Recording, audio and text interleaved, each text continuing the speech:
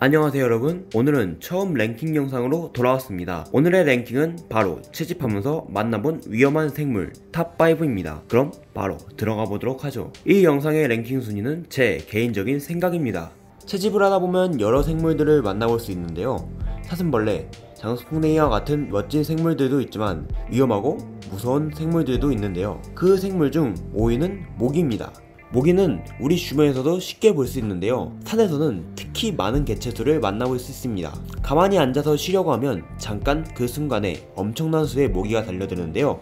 바로 그때 드는 생각, 내가 산에 채집으로 온 건가, 헌혈을 하러 온 건가. 이 정도로 무차별 폭격을 당할 때가 있습니다. 특히나 눈 주변이나 손가락 마디에 물리면 어후 생각만 해도 끔찍합니다. 3위는 벌입니다. 어떻게 보면 1위에도 갈 수 있는 벌인데요. 수액 채집을 하다 보면 자주 만나볼 수가 있습니다. 사실 건들지만 않으면 큰 위험은 없지만 실수로 건들거나 화나게 하면 최악의 경우 쏘이게 됩니다. 게다가 풀스로 해치면서 채집하다 보면 가끔 벌집을 만날 수가 있는데 이런 경우 매우 위험해질 수 있으니 꼭 주변을 탈피며 채집해야 합니다.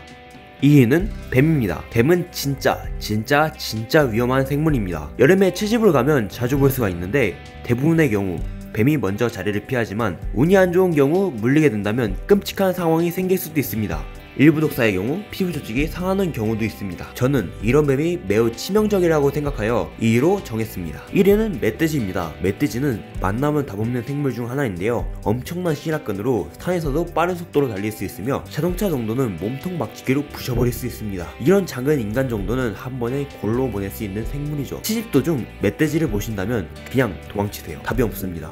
최대한 놀라지 않게 도망치셔야 합니다. 겁도 없이 장난치다가는 천국 구경 충분히 가능합니다. 자, 오늘은 이렇게 채집하면서 만나본 위험한 생물 탑5를 해봤는데요. 여러분들도 채집하면서 이런 위험한 생물을 만나면 어떠실 것 같나요? 꼭 안전하게 채집하시길 바랍니다. 그럼 구독과 좋아요 부탁드리고요. 다음에 보고 싶으신 영상 댓글로 작성 부탁드립니다.